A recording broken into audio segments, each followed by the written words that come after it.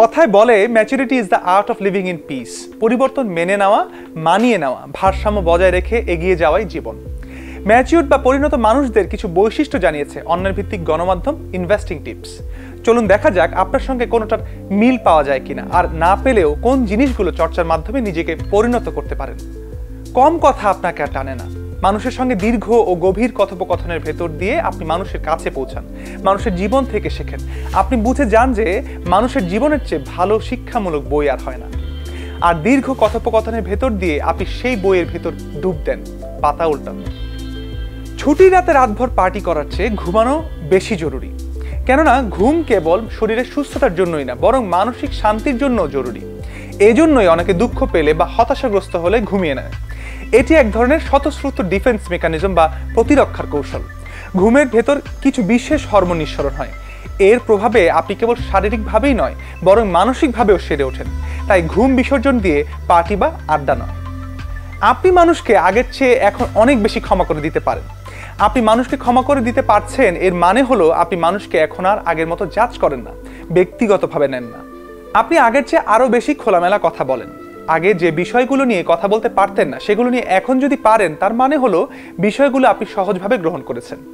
আর এখন আপনি আগের চেয়ে আরও বেশি আত্মবিশ্বাসী। ভিন্নতাকে সহজেই গ্রহণ করতে পারেন। ভিন্নতাই বৈচিত্র্য, আর বৈচিত্র্যই শক্তি।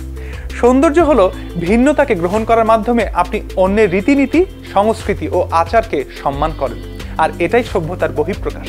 ভালোবাসায় যে কোনো জোরাজোরি চলে না, তা আপনি জানেন। আপনি হয়তো একজনকে হুট করে ভালোবেসে ফেলেছেন। বিপরীতে অপরপক্ষ যে আপনাকে ভালোবাসবেই, এমন কোনো কথা নেই। আর এ বিষয়কে স্বাভাবিকভাবে মেনে নেওয়াই সমজদারি উত্তেজনার মুহূর্তে শান্ত থাকতে জানেন। আপনি জানেন এ সময় কথা বলার কোনো অর্থ হয় না। কেননা কেউ আপনার কথা মন দিয়ে শুনে, বুঝে গ্রহণ করার মতো অবস্থায় নেই। তাছাড়া আপনি চুপ করে থাকেন কেননা আপনি জানেন কথা বলে কোনো লাভ নেই। যা হওয়ার তাই হবে। মাঝখান থেকে কথা বলে আপনি খারাপ হবেন। তাই চুপ থাকেন। কখন কথা বলতে হয় আর কখন চুপ থাকতে হয়, এটা জানা জীবনের গুরুত্বপূর্ণ শিল্প। শেষ আর সবচেয়ে গুরুত্বপূর্ণ বিষয়টি হলো নিজের মানসিক শান্তি যতটা সম্ভব নিজের কাছে রাখা। বলিউড তারকা ক্যাটরিনা কাইফকে জিজ্ঞাসা করা হয়েছিল, শেষ ব্রেকআপ থেকে তিনি কি শিখেছেন? তখন ক্যাটরিনা বলেছিলেন, নিজের মানসিক শান্তির জন্য অন্য কারও উপর নির্ভর না করা, অন্য কাউকে দায়ী না করা। নিজের মানসিক শান্তি নিজে নিয়ন্ত্রণ করতে পারাটা জীবনের সবচেয়ে গুরুত্বপূর্ণ। আর এই আন্ডারস্ট্যান্ডিংয়ে নাকি সেই সম্পর্ক থেকে পাওয়া ক্যাটরিনার সবচেয়ে বড় উপহার। এমন আরও সব তথ্যের জন্য ভিজিট করতে পারেন প্রথম আলো ডট কম সেই সাথে সাবস্ক্রাইব করতে পারেন প্রথম আলো ইউটিউব চ্যানেল এবং ফলো করতে পারেন প্রথম আলো ফেসবুক পেজ থাকুন ভালোর সাথে, আলোর পথে।